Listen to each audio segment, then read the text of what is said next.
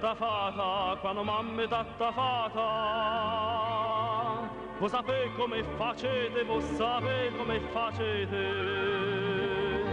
Per passasti carnevele, per passasti carnevele. Tutto quello che mettete, tutto quello che mettete. Și pentru că sunt sigur că vă întrebați ce caută Constantin Danu aici și dacă nu-l cunoașteți, vă întrebați probabil cine este el. Eu am primit un uh, CV al lui, dar uh, nu am să-i dau citire pentru că mi se pare firesc uh, să dăm dreptul fiecăruia să-și descrie realizările proprii. În primul rând, bună dimineața și îți mulțumesc foarte mult, Sașca, că m-ai invitat astăzi în emisiunea matinal. Pentru noi este o onoare să fie Pentru aici. toată lumea și sper să fie un ceas bun. Cine este Constantin Danu? Să spunem că, ai să presupunem că ești uh, pus în fața unei situații în care ai, uh, trebuie să descrii în cinci propoziții cine ești. Deci, uh, sunt un taur înverșunat, în primul rând. Uh, sunt prim solist al Teatrului de Operetă și uh, am 26 de ani. Latte rose, rose, latte, te facete in capo fato. Încă îmi vine greu să vorbesc despre Costel la timpul trecut. Dar am să mă străduiesc să spun și eu cine a fost pentru mine artistul și omul Danu Constantin.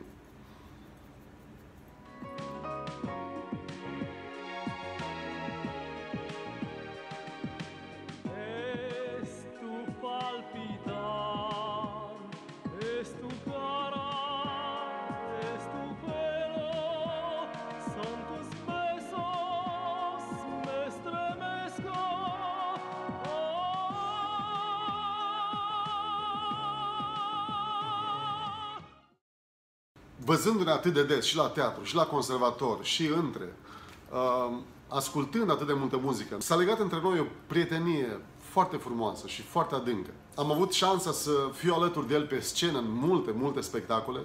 Știu că uh, el a depus foarte mult efort în a își uh, desăvârși meșteșugul și actoricesc și cel vocal pe lângă profesorul de la conservator, cum cunoștea pe cineva care dă lecții private, din bănuțul lui mergeam, mă și pe mine și în foarte scurt timp s-a dezvoltat extraordinar. Se poate auzi din imprimările lui o voce excepțional de frumoasă și caldă.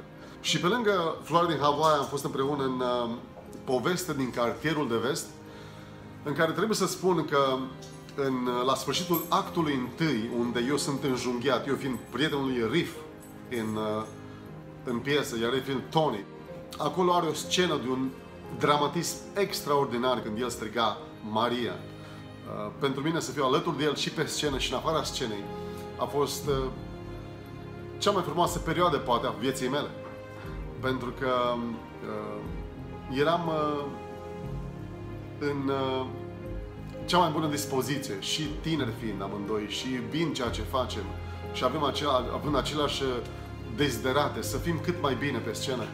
Era ceva extraordinar de frumos. Uh, de asemenea, am fost cu ele multe turnee. Am fost în Grecia, am fost în uh, Spania, am fost în Germania.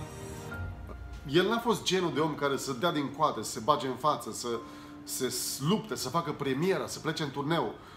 Pentru că n-a fost caracterul ăsta. El a fost un caracter bun și a iubit arta de a cânta pe scenă, dar nu nu i-au plăcut aceste lucruri, să se ducă la direcție, să spună, să se dea bine, nu.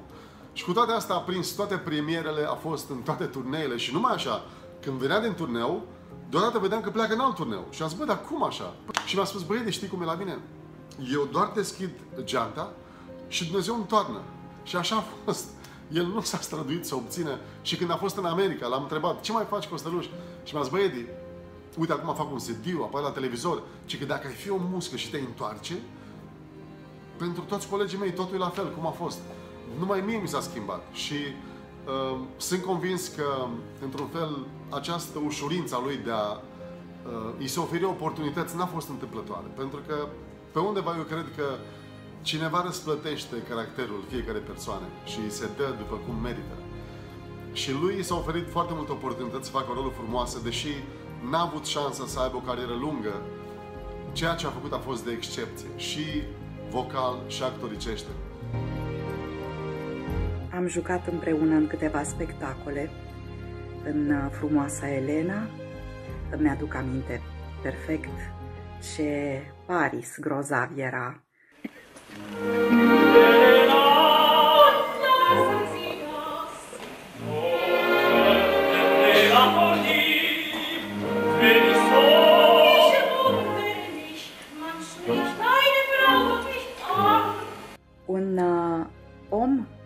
frumos pe dinăuntru, pe din afară, o voce superbă, un coleg minunat, calități excepționale uh, și care promiteau să fie din ce în ce uh, mai revelatoare de frumuseți, pentru că, iată, la 29 de ani, el era o promisiune pentru vocile de tenor. Pentru noi era Uh, era minunat să vedem cum un coleg de-al nostru, uh, care, e adevărat, cânta minunat și atunci, tinde să devină din ce în ce mai bun pentru că, în afară de faptul că avea aceste calități personale, uh, își dorea și se perfecționa și îi plăcea să lucreze. Astăzi, cu siguranță, eu îi, uh, îi uh, vedeam un uh, viitor extraordinar de strălucit. Vom invita imediat în platou și familia Danu. Veronica, născută în zodia vărsătorului, economist, este uh, o proaspătă mămică, pasionată de călătorii. Constantin, născut în zodia taurului, prim solist la teatrul de operetă Ion Dacian, pasionat de pictură și cinematografie. S-au cunoscut în stația de metrou Piața Romană și s-au căsătorit. Pe 6 septembrie 1997, la Ploiești, sunt părinții unui băiețel de o lună și două săptămâni, pe nume Cristian, familia Danu.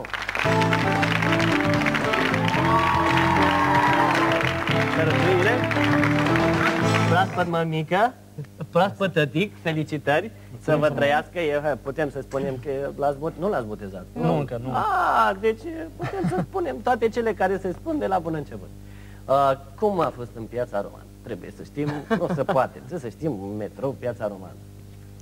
Deci totul s-a întâmplat uh, a doua zi după ziua mea de naștere, a fost un cadou și, Cine, eu? bineînțeles, iarna. da, tu ai fost uh, cadoul meu. Chiar dacă nu era intenționat. Da. Și ce s-a întâmplat? Uh, ieșeam de la piesa de teatru O noapte fortunoasă, de la Notara și uh, am mers către metrou nu a venit la timp, a întârziat. Mâna și... divină. Ca de obicei. Da. Mâna divină, e, nu știu dacă chiar ca de obicei. Trebuia să mai întârzie ca să vă întâlniți, altfel.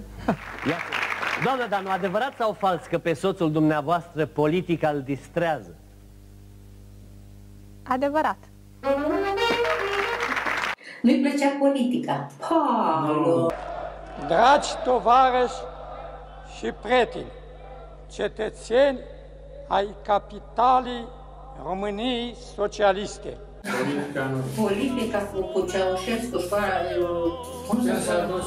Când a fost Revoluția, l-a dus pe, pe taf, pe taf de la... Da, să moare, mai frate. să fie pușcat. Da, era la liceu, clasa 11 Ce-a fiscat de nota la portare dacă nu face odii lui Ceaușescu. Da. Asta, asta, am avut mare bătăi de cap cu treaba asta. Cum era că el era de provocat, spunea lui Giare, spus în față, stă să spune și la să repetăm. Scutu să repetăm. la să repetăm, da. Dar Dumnezeu și-a venit revoluție și nu l-a mai lăsat. nu, eu aș vrut în altă parte, să dea așa undeva din meserie de bărbat, inginer mecanic, economist, de asta și Și el îți dai seama că a intrat printre primii. Că nu era încântat să plece. Așa, dacă ar, dacă ar pleca vreodată, ar fi plecat vreodată din țară, ar fi plecat în, unde zicea, în Australia. Da, da. singura care, restul nu, nu era. Deci avem o țară foarte frumoasă, dar ce nu, nu e condusă ca lumea, dar țara noastră, zice, să știi că e mai frumoasă ca orice țară din Europa. Alt aspect al lui Costel pe care poate mulți nu știu este că a fost, uh, să zic așa, din punctul meu de vedere, a fost un sfânt. Acum, poate ți se pare că exagerez pentru că acum uh, poate am o dorință să înfrumusețez cine a fost Costel. Nu, eu nu fac asta, îți spun doar adevăr. Uite cum, cum stau lucrurile. Deci eram în... Uh, el era în primul an de conservator și nu știu dacă știi, primul an nu se repetă. Deci dacă ai căzut, dacă nu mergi la examene, dacă nu ți-l dai, deci te dau afară. Erau unii care dădeau de 5-7 ori și tot picau. Și să intre la conservator din prima era o realizare. Dar Costeluș al nostru nu mai venea la cursuri. Nu mai venea la audiție, nu mai venea la arta actorului, nu mai venea la clasă de operă. Și pe scurt, au trecut luni de zile în absență. L-am întrebat de mai multe ori, dar ce se întâmplă? Ce faci? Nu mai te văd. În final, când l-am auzit și pe maestrul Purcărete, pe atunci era, uh, parcă era regizor la clasă de operă, Bă, pe să-l dau afară, nu mai vine, nu știu ce, pentru că el fiind tenor avea rolul principal. Chiar dacă la început faci fragmente din operă, oricum era la sfârșit de an, trebuia să dea examen, era foarte important. Și l-am întrebat, mă, mă, te dau afară, de ce nu mai vii? Cu greu. Așa, i-am smuls cuvintele ca cu cleștele. Mi-a spus, păi, mă duc la spital. La spital, dar ce s-a întâmplat? De ce? Nu, un bătrân acolo. Deci, cine e asta? E un bătrân de la două scări mai încolo și a ars apartamentul și până l-au scos afară, a ars în casă, are arsuri pe tot trupul, de gradul 3 și gradul 4. Și acum e internat și mă duc la el la spital. Aoleu, săracul, dar da, de ce? Îl cunoști? Nu. Era un om bătrân, nu-l ajuta nimeni, nu știu dacă avea copii. Da. Și el avea examen, avea Îți dai seama, îi făcea mâncare, era rușine să-mi spună că eu îl certam. Mai mamă, tu în loc să te ocupi de școală, tu ce faci? Du-te și îi găsisem să-l schimb, să se ducă în alt. N-a vrut să plece, ci eu nu plec, căci omul ăsta, dacă eu plec, el moare. În primul an de facultate, în care se intră atât de greu, cu riscul de a fi dat afară, el a făcut toate astea ca să hrănească un bătrân pe care nu-l cunoștea, se dea cu lingurița în gură. De ce? Pentru că a fost milă. Și vezi, asta a fost Danu Constantin. Vezi, lucrurile astea nu apar pe prima pagina ziarelor, nu par senzaționale. Dar să știu un lucru, prietenul meu cel mai bun, Costel, el a avut o iubire de aproape ca pe el însuși. Deci era în stare să se lase pe el pentru alt. Dacă îi cereai haina, îți dădea și cămașa. Și nu a făcut-o nici pentru ca să fie plaudat sau apreciat sau important sau să arate că ce bun e el, nu. Nici nu vrea să știe. El a fost cumva uh, supărat că l-am întrebat. El nu voia să facă caz pe chestia asta. Dar uh, așa a fost Costel. Un om bun și un om discret, fără să caute, să impresioneze. El a avut doar o, o bucurie exact cum pentru arta lui, ca și cum ar fi o pasăre pe o creangă care cântă, fără dorința să fie ascultată sau a iubit să se dăruiască și să dăruiască nu numai pe scenă, dar și în afara scenei, pentru ceilalți. Eu îi, îi vedeam un viitor extraordinar de strălucit. Îmi pare foarte rău, regret din suflet, atât pentru noi, colegii, cât și pentru familia sa frumoasă. Tocmai se născuse un băiat și Cristian și noi îl felicitam știind că Iată și această latură a lui este împlinită. Dumnezeu să te odihnească, Costel. Gândul nostru a rămas mereu și va rămâne la tine. Și te vom prețui în amintirea noastră, așa cum se cuvine să fie prețuit un om care, în afară de calitățile lui profesionale, are și marea calitate de a fi om.